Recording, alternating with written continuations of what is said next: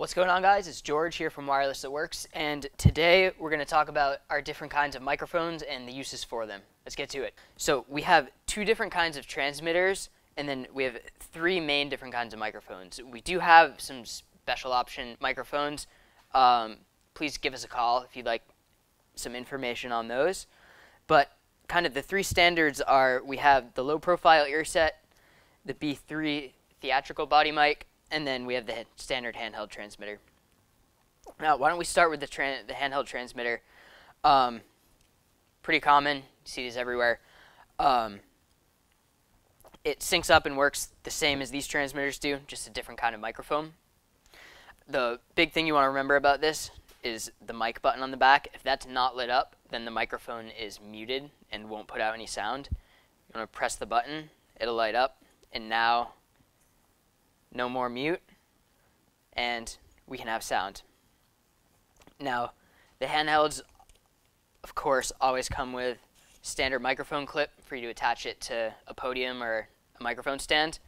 And then they come with a little thread adapter. So if you have microphone stand of the European variety, you can still use that. You see the threads on those are a little smaller. Moving on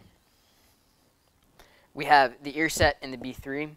Now, these two microphones can be used almost interchangeably for different applications. They're very common in theater. The ear sets are very common for speeches. Um, and the B3s are great for, for musical theater and singing as well.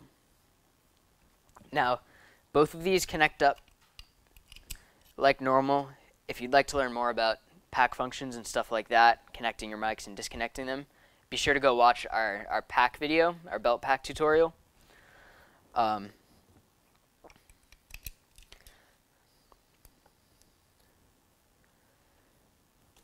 and now, this can be worn pretty much only one way. It's called an ear set because it'll go up around your ear and then you can bend it a little bit to contour your face.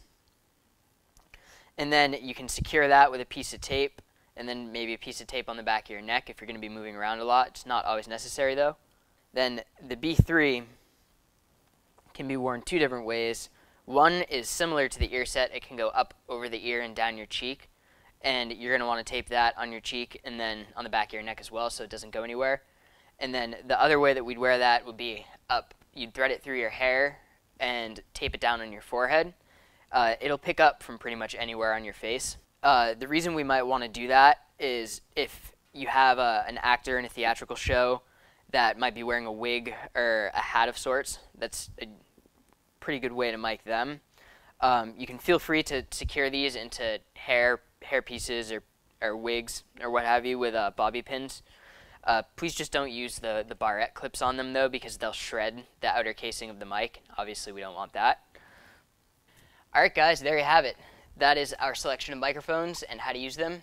One thing that I may add is you probably saw I was having a little trouble struggling getting uh, getting the microphone where I needed it and getting it taped up. So always nice to have a helper who can help you with that. Make sure that the mic's not going to move around on you, nice and tight around your ear.